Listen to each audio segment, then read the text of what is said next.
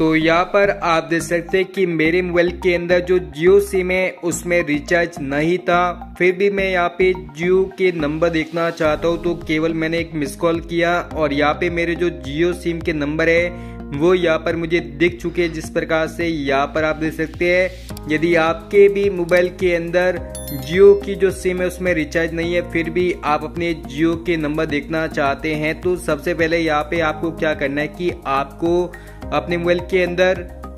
ये जो डायलर है, आपको उसको खोलना है। और इसके बाद यहाँ पे आपको डायल करना है वन टू डबल नाइन। और इसके बाद यहाँ पे आपको जो जियो की सिम है, आपको उससे कॉल करना है।